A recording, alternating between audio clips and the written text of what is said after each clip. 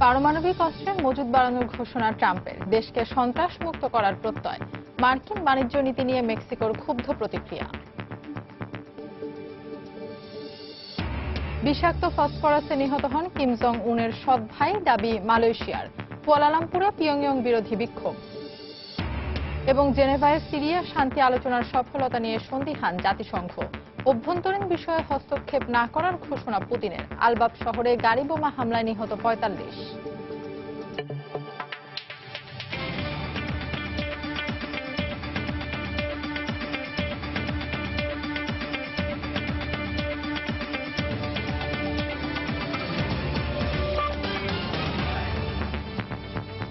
আন্তর্জাতিক সময়ের সঙ্গে আছি আমি ফাহমিদা মৌটুসি।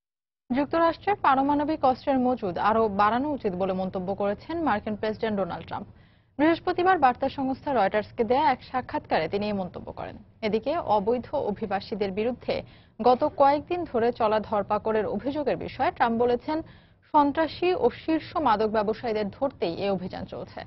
তবে মার্কিন পররাষ্ট্রমন্ত্রীর সফরে যুক্তরাষ্ট্রের অভিবাসন ও বাণিজ্য নীতি নিয়ে ক্ষুব্ধ প্রতিক্রিয়া দেখিয়েছে মেক্সিকো। ট্রাম্প প্রশাসনের দুই শীর্ষ কর্মকর্তার মেক্সিকো সফরের মধ্যেই দেশটির পূর্বাঞ্চলীয় শহর ভেরাক্রুজে স্থানীয় বাসিন্দারা প্রতীকী দেয়াল তৈরি করে তাতে আগুন দিয়ে প্রতিবাদ জানান। ট্রাম্পের দেয়াল নির্মাণের ঘোষণার প্রতিবাদ জানিয়ে তারা মেক্সিকোকে যুক্তরাষ্ট্রের চেয়ে সম্প্রীতির দেশ বলে উল্লেখ করেন। দেশটিতে থাকা মার্কিন নাগরিকেরাও বৃহস্পতিবার ট্রাম্পের বিরুদ্ধে প্রতিবাদ করেছেন। যুক্তরাষ্ট্রের লাখো মানুষের সঙ্গে কণ্ঠ মিলিয়ে আমরাও বলতে চাই প্রেসিডেন্ট ট্রাম্প মার্কিনদের প্রতিনিধিত্ব করেন না। তার নীতি আমাদের মূল্যবোধের প্রকাশ নয়। মেক্সিকো যুক্তরাষ্ট্রের ভালো বন্ধু ট্রাম্প যা বলছেন তা পুরোপুরি অযৌক্তিক। চলতি সপ্তাহেই ট্রাম্প প্রশাসন ঘোষণা দেয়, মেক্সিকো সীমান্ত দিয়ে প্রবেশ করা যে কোনো দেশের অভিবাসীদেরই দেশটিতে ফেরত পাঠানো হবে। এই অবস্থার মধ্যেই বৃহস্পতিবার মেক্সিকোর প্রেসিডেন্ট পেনা নিয়েতো ও পররাষ্ট্রমন্ত্রী লুইস ভিদেগারায়ের সঙ্গে বৈঠক করেন মার্কিন পররাষ্ট্রমন্ত্রী রেক্স টিলারসন ও হোমল্যান্ড সিকিউরিটির প্রধান জন কেলি। বৈঠকে অভিবাসন, বাণিজ্য ও নিরাপত্তা সম্পর্কে দুই দেশের স্বার্থ সংশ্লিষ্ট বিষয়ে আলোচনা হয় বলে জানিয়েছে গণমাধ্যম। এর আগে দুই দেশের পররাষ্ট্রমন্ত্রী পর্যায়ের বৈঠকে মেক্সিকোর প্রতি ট্রাম্পের অভিবাসন নীতির বিষয়ে ক্ষুব্ধ প্রতিক্রিয়া দেখায় দেশটি। অভিবাসীদের বিষয়ে মার্কিন দুই কর্মকর্তার কাছে আমাদের ক্ষুব্ধ প্রতিক্রিয়া ও উদ্বেগের কথা তুলে ধরা হয়েছে। যুক্তরাষ্ট্রে থাকা মেক্সিকানদের ব্যাপারে যেন আন্তর্জাতিক আইন ও পূর্ণ মানবাধিকার রক্ষা করা হয় সে বিষয়ে সতর্ক করা হয়েছে। এদিকে যুক্তরাষ্ট্রের পারমাণবিক অস্ত্রের মজুদ আরও বাড়ানো উচিত বলে মন্তব্য করেছেন প্রেসিডেন্ট ডোনাল্ড ট্রাম্প। বৃহস্পতিবার বার্তা সংস্থা রয়টার্সকে দেয়া এক সাক্ষাৎকারে ট্রাম্প বলেন, পরমাণু অস্ত্রের সংখ্যায় যুক্তরাষ্ট্রকে পিছিয়ে রাখতে চান না তিনি। রাশিয়ার বিরুদ্ধে পারমাণবিক অস্ত্র মোতায়েন কমিয়ে আনা হবে বলেও সাক্ষাৎকারে জানান ট্রাম্প। চীনা প্রেসিডেন্টের সঙ্গে সাম্প্রতিক সৌহার্দ্যপূর্ণ ফোনালাপ এবং উত্তর কোরিয়ার পারমাণবিক ক্ষেপণাস্ত্র পরীক্ষার বিষয়েও কথা বলেন মার্কিন প্রেসিডেন্ট। এদিকে যুক্তরাষ্ট্রের বিভিন্ন অঙ্গরাজ্যে ধরপাকড় চলছে বলে মানবাধিকার সংস্থাগুলোর অভিযোগের মধ্যেই বৃহস্পতিবার ট্রাম্প বলেন সন্ত্রাসী ও মাদক সম্রাটদের বিরুদ্ধে যুদ্ধ ঘোষণা করেছে তার প্রশাসন. সীমান্ত দিয়ে যেভাবে মাদক আসছে তা সবাই জানে। আমরা শীর্ষ মাদক চোরা কারবারি ও দলগত সন্ত্রাসকে নির্মূল করতে চাই। তাদের দ্রুত বিতাড়িত করে যুক্তরাষ্ট্রকে মাদক ও সহিংসতা মুক্ত করাই আমাদের লক্ষ্য। যুক্তরাষ্ট্রে অন্তত এক কোটি দশ লাখ অবৈধ অভিবাসী রয়েছে বলে বিভিন্ন সূত্রে জানিয়েছে গণমাধ্যম। মাদক ও অন্যান্য অপরাধের সঙ্গে জড়িত অভিবাসীদের বেশিরভাগই হিসপানিক ও কৃষ্ণাঙ্গ। দেলোয়ার হোসেন, সময় সংবাদ। মার্কিন প্রেসিডেন্ট ডোনাল্ড ট্রাম্পের অভিবাসন বিরোধী নীতির কড়া সমালোচনা করেছে সুইডেন। বৃহস্পতিবার রয়টার্সের সঙ্গে সাক্ষাৎকারে দেশটির বিচার ও অভিবাসন বিষয়ক মন্ত্রী মর্গান জোহানসন বলেন, নানা দেশের অভিবাসীদের আশ্রয় ও বহুত্ববাদ নীতি দেশ ও সমাজকে সমৃদ্ধ করে। সম্প্রতি মার্কিন প্রেসিডেন্ট ট্রাম্প সুইডেনকে শরণার্থীদের জন্য উদার নীতির দেশ হিসেবে উল্লেখ করে তা সন্ত্রাসী হামলার ঝুঁকিতে রয়েছে বলে মন্তব্য করেন এর প্রতিক্রিয়ায় নিজেদের অভিবাসন বান্ধব নীতির প্রশংসা করেন সুইডেনের অভিবাসন মন্ত্রী মার্কিন প্রেসিডেন্ট পরবর্তীতে সুইডেন সম্পর্কে কোনো মন্তব্য করলে সেখানকার প্রকৃত অবস্থা সম্পর্কে জেনেই মন্তব্য করবেন বলে আশা প্রকাশ করেন তিনি.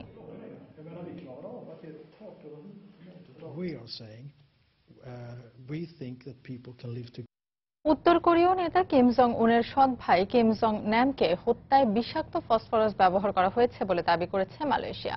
ন্যামের চোখমুখ থেকে নমুনা সংগ্রহ করে পরীক্ষা নিরীক্ষা চালিয়ে এ বিষয়ের, এ বিষের আলামত পাওয়া গেছে। এদিকে আন্তর্জাতিক আইন লঙ্ঘন করে উত্তর কোরিয়ার কূটনৈতিক পাসপোর্টধারী ব্যক্তির ময়নাতদন্ত করার তীব্র নিন্দা জানিয়ে এ ধরনের তদন্ত বন্ধের আহ্বান জানিয়েছে পিয়ংইয়ং। অন্যদিকে ন্যাম হত্যার জন্য মালয়েশিয়াকে দোষারোপ করায় উত্তর কোরিয়ার সঙ্গে কূটনৈতিক সম্পর্ক পুনর্বিবেচনার দাবি জানিয়ে বিক্ষোভ করেছে মালয়েশীয়রা।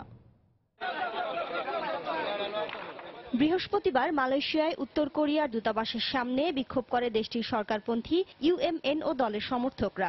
উত্তর কোরিয়ার নেতা কিম জং উনের সৎ ভাই কিম জং ন্যাম হত্যাকাণ্ডে মালয়েশিয়াকে দোষারোপ করার পরিপ্রেক্ষিতে পিয়ং ইয়ং এর সঙ্গে কূটনৈতিক সম্পর্ক পুনর্বিবেচনার পাশাপাশি দেশটির সঙ্গে ভিসা পদ্ধতি বাতিলের দাবি জানায় তারা।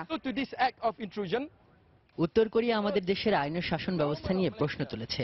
আমরা এর প্রতি নিন্দা জানাচ্ছি এবং উত্তর কোরিয়া ও মালয়েশিয়ার মধ্যকার ফ্রি ভিসা বাতিলে সরকারের কাছে দাবি জানাচ্ছি।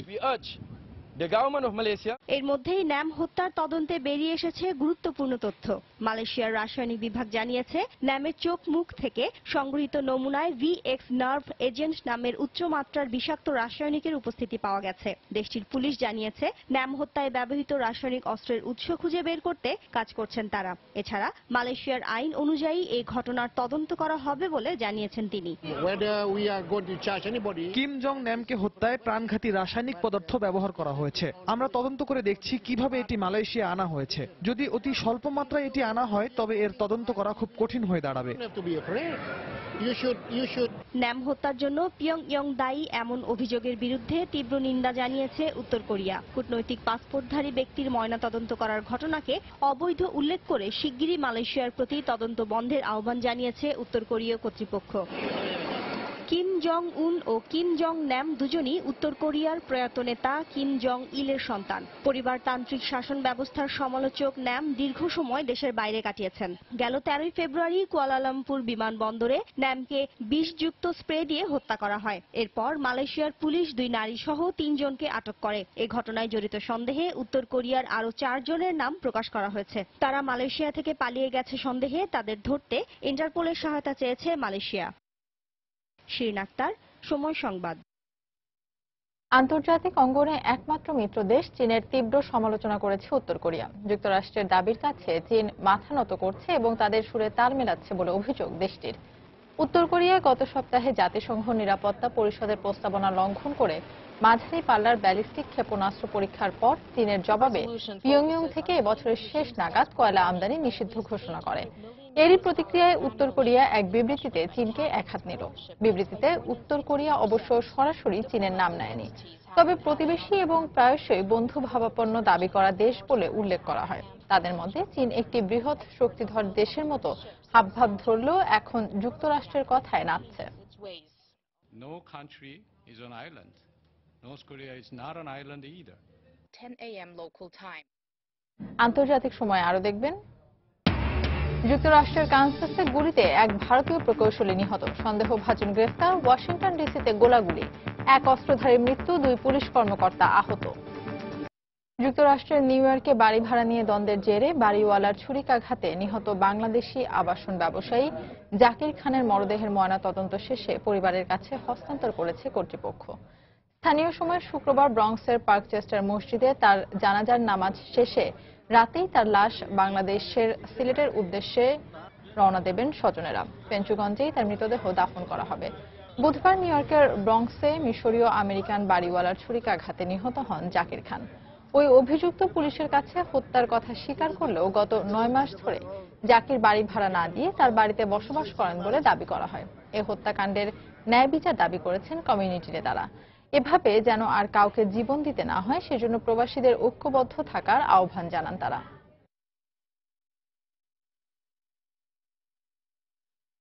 একটা মানুষের সাথে ভাড়া নিয়ে ডিসপুট থাকতে পারে। এর অর্থ না সে লটা হাতে নেবে সে ল হাতে নিয়ে একজনকে খুন করে ফেলবে। যে আততায়ী ছুরিকাঘাতে উনি নিহত হয়েছেন আমরা ওনার সুষ্ঠু বিচার চাই যাতে আগামীতে যেন এই কমিউনিটি এই ধরনের ঘটনা না ঘটে।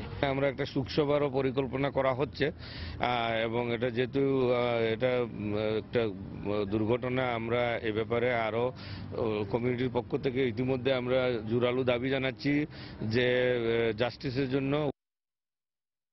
বাংলাদেশে কারাবন্দী পোশাক শ্রমিক ও শ্রম অধিকার আন্দোলনের নেতাদের মুক্তি দেওয়ার আহ্বান জানিয়ে সরকারের কাছে চিঠি দিয়েছে মার্কিন কংগ্রেসের এগারো জন সদস্য। বৃহস্পতিবার রিপাবলিকান আইন প্রণেতাদের স্বাক্ষরিত চিঠিতে শ্রমিকদের অধিকার নিশ্চিত করারও আহ্বান জানানো হয়। এতে শ্রমিক আন্দোলনকে আইনসম্মত উল্লেখ করে সম্প্রতি প্রায় ষোলশো জনকে আটকের ঘটনার উদ্বেগ জানানো হয়। এছাড়া রানা প্লাজা ধসে হাজারেরও বেশি মানুষের মৃত্যুর পর বাংলাদেশ শ্রমিক অধিকার প্রতিষ্ঠার ক্ষেত্রে পিছিয়ে পড়েছে বলে উল্লেখ করা হয়। চিঠিতে বাংলাদেশে শ্রমিকদের যথাযথ কর্মপরিবেশ নিশ্চিত করতে প্রধানমন্ত্রী শেখ হাসিনার ব্যক্তিগত হস্তক্ষেপ কামনা করা হয়। যুক্তরাষ্ট্রের কানসাস অঙ্গরাজ্যের একটি পানশালায় বন্দুকধারীর হামলায় এক ভারতীয় প্রকৌশলী নিহত ও দুইজন গুরুতর আহত হয়েছেন। আহতদের মধ্যে একজন ভারতীয় বলে জানা গেছে। বুধবার রাতে ওলাথে এলাকার ওই বারে অতর্কিত গুলিবর্ষণের সময় ওই বন্দুকধারী আমার দেশ থেকে বেরিয়ে যাও বলে হুঙ্কার করছিল। অভিযান চালিয়ে হামলাকারীকে আটক করে পুলিশ। অ্যাডাম পুরিন্টন নামে একান্ন বছর বয়সী ওই ব্যক্তির বিরুদ্ধে অভিযোগ গঠন করা হয়েছে। সাম্প্রদায়িক বিদ্বেষ থেকে এই হামলা চালানো হয়েছে কিনা সে বিষয়ে নিশ্চিত হতে তদন্ত করছে কেন্দ্রীয় গোয়েন্দা সংস্থা এফবিআই।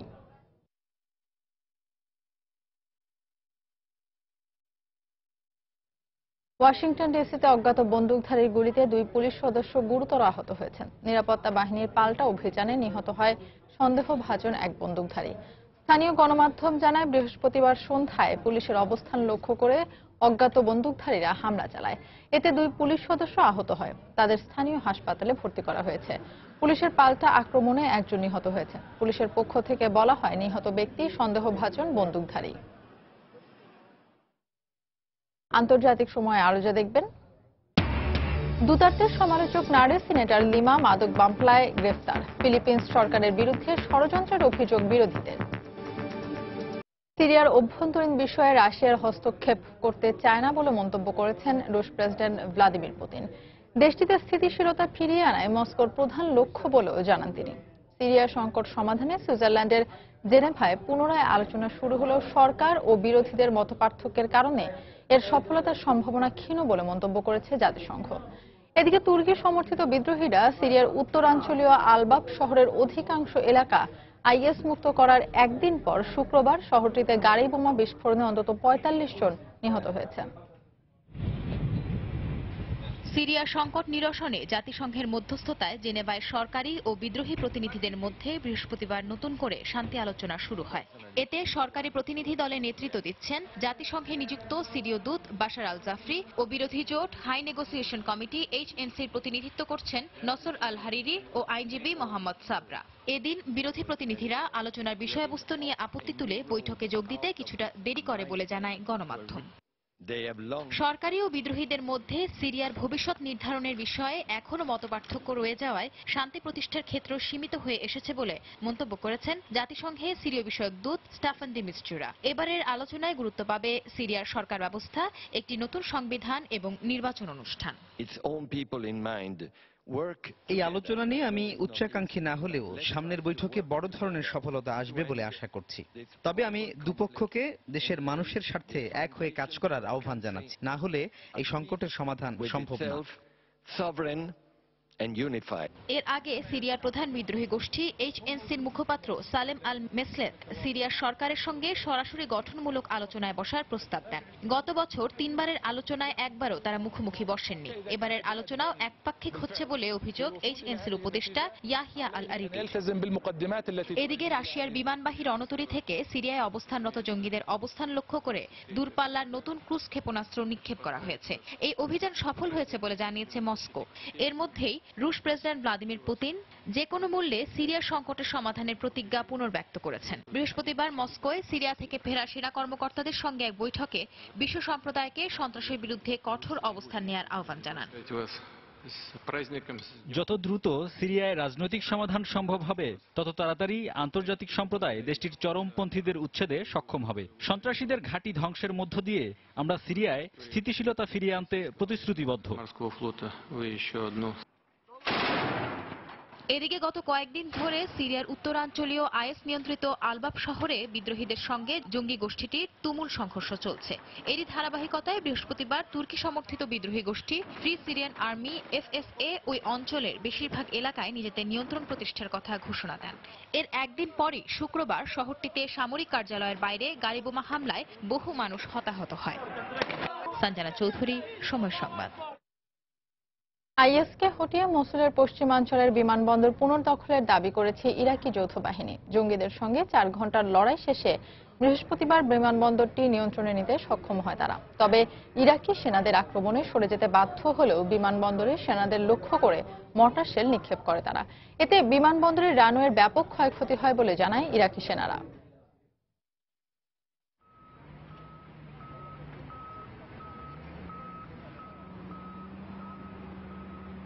ফিলিপিন্সের প্রেসিডেন্ট রদ্রিগো দুতার্তের মাদক বিরোধী লড়াইয়ের কড়া সমালোচক নারী সিনেটর লেইলা ডিলিমাকে গ্রেফতার করা হয়েছে। তার বিরুদ্ধে বন্দী থাকা মাদক ব্যবসায়ীদের সহযোগিতা ও তাদের কাছ থেকে অর্থ গ্রহণের অভিযোগ আনা হয়েছে। বৃহস্পতিবার লিমার বিরুদ্ধে গ্রেফতারি পরোয়ানা জারি করা হলে শুক্রবার সকালে তিনি পুলিশের কাছে আত্মসমর্পণ করেন। তবে নিজেকে সম্পূর্ণ নির্দোষ উল্লেখ করে একে সরকারের ষড়যন্ত্র হিসেবে আখ্যা দেন দুতার্তে বিরোধী এই নারী সিনেটর। মাদক মামলায় দোষী সাব্যস্ত হলে লিমার আজীবন কারাবাস হতে পারে। দুই দিন আগে দুতার্তেকে একজন সিরিয়াল কিলার আখ্যা দিয়ে তাকে ক্ষমতা থেকে টেনে নামাতে হবে বলে মন্তব্য করেন Lima. Wala po akong balak takasan.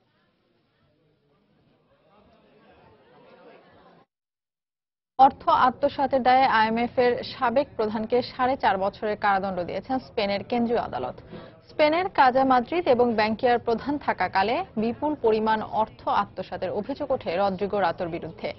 অভিযোগ প্রমাণিত হওয়ায় আদালত বৃহস্পতিবার তাকে চার বছর ছয় মাসের কারাদণ্ড দেন। স্পেনের এর সাবেক অর্থমন্ত্রী উচ্চ আদালতে আপিল করার সুযোগ পাবেন।